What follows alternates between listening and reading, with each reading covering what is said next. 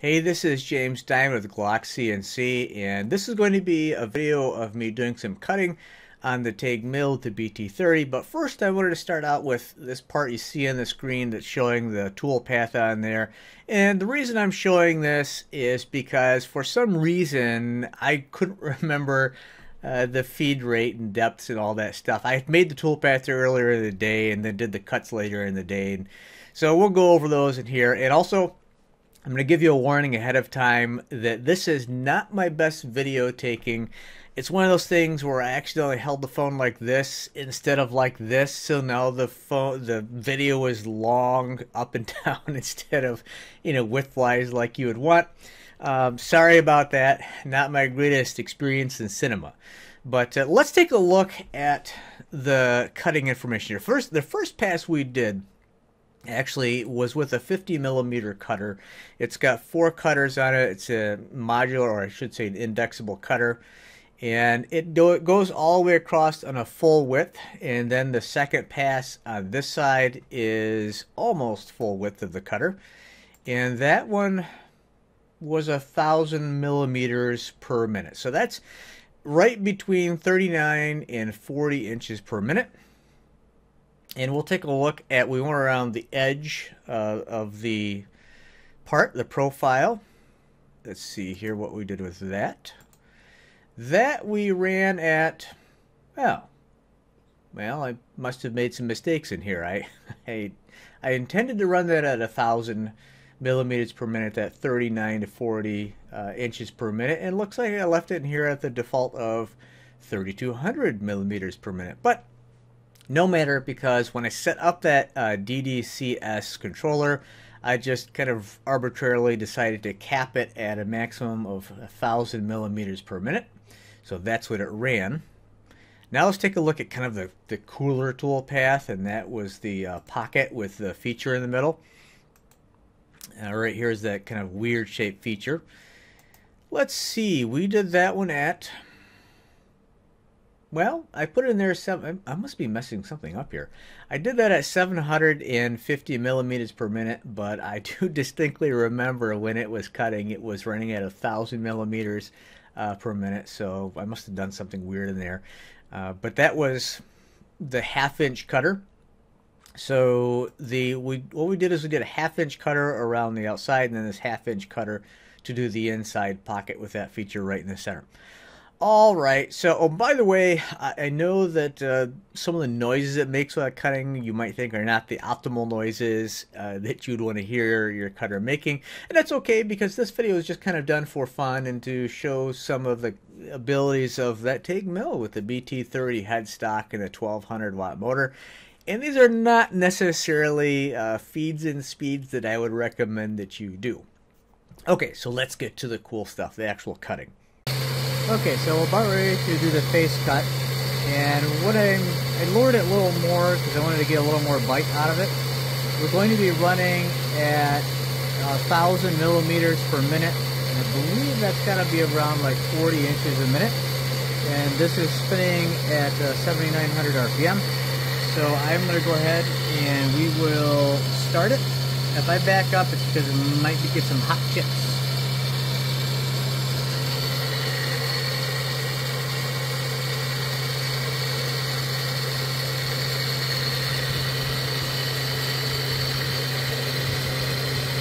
Just went to its safety height.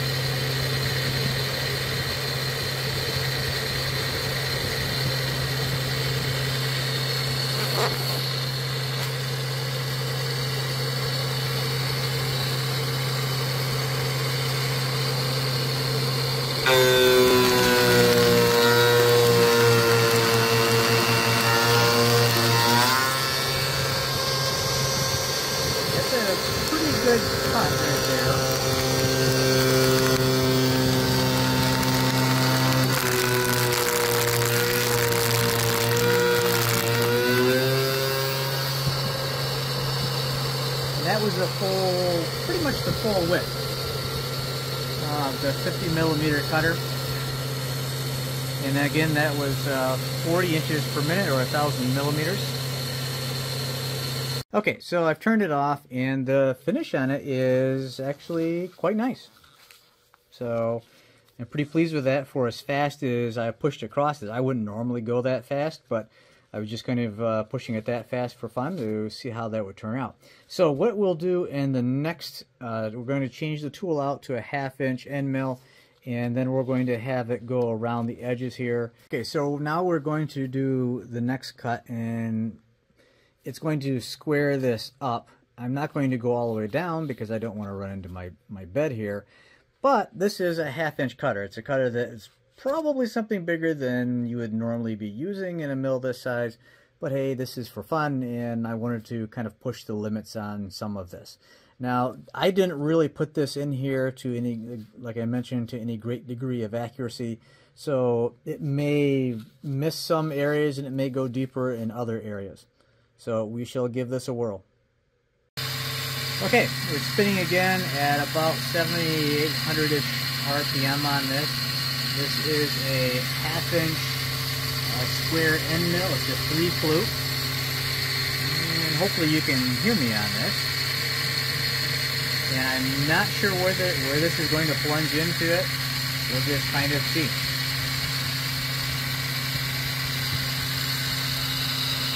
And looks like we're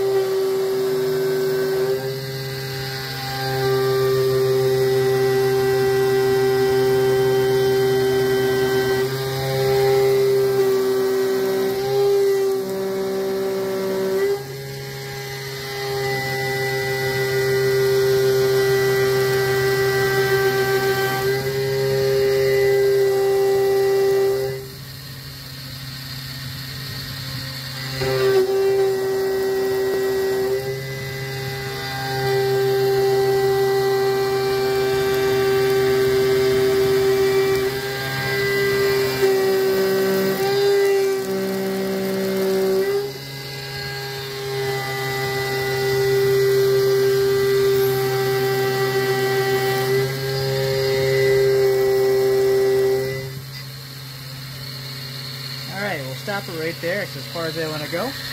Uh, but you can see it uh, dug in pretty good right there. It harved some out and over on this side, little thin on the back side.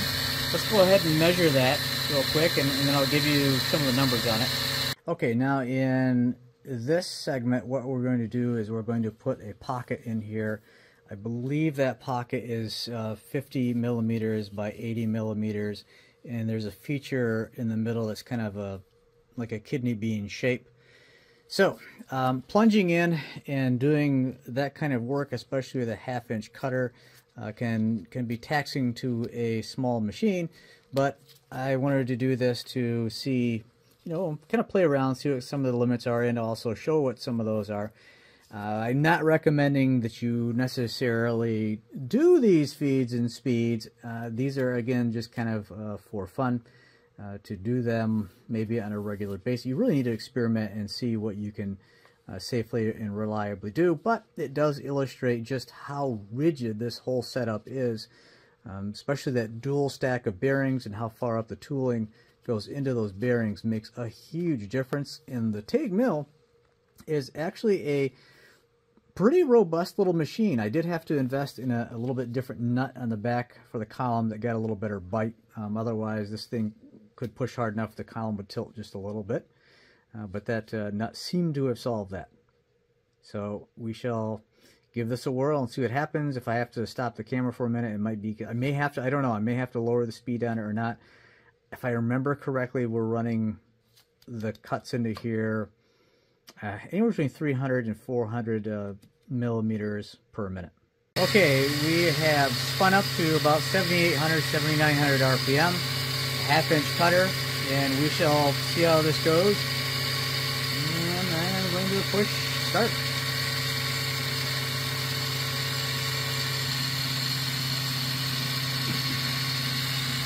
I may have to again stop periodically and brush some chips away or some such thing. So it might be kind of a uh, ugly video by the time I'm done, but it is what it is.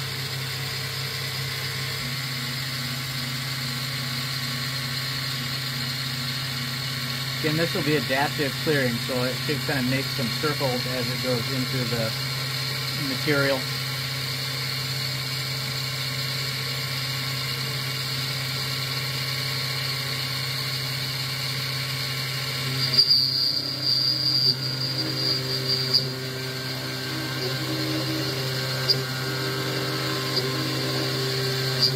The two and a half millimeter depth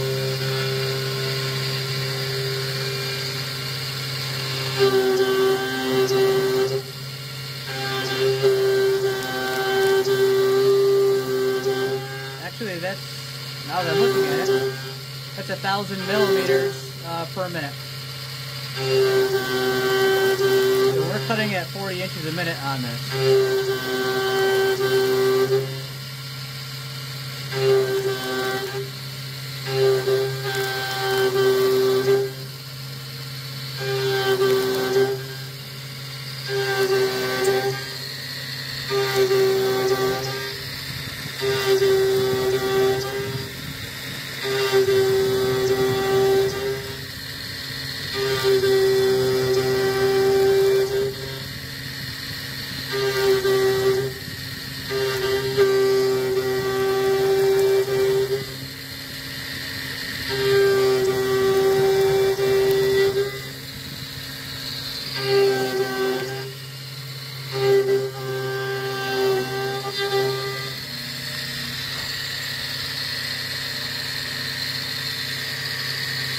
Lubricant on there, and we're going to go in for a second pass. I believe there's only two passes on this particular tool path.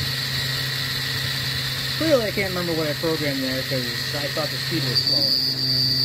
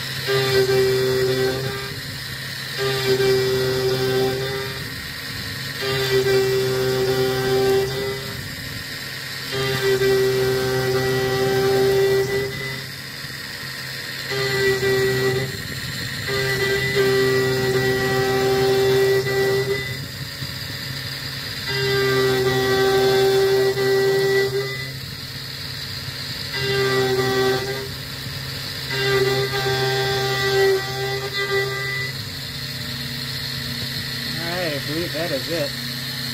So let's uh, stop this cleaning up and take a look at what we got.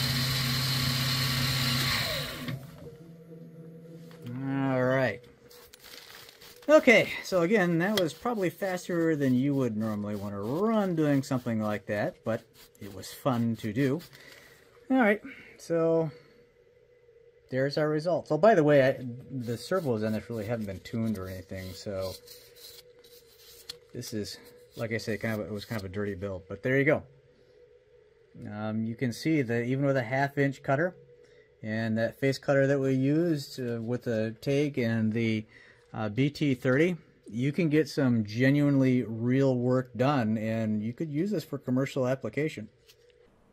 All right, there you have it. There is the 1200 watt motor with the BT30 working away, and it's a really good rigid setup with that Taig. I, I really like it. Anyway, uh, if you're interested in that, just go to our website, glockcnc.com. And once again, this is James Diamond, and I'll talk to you later.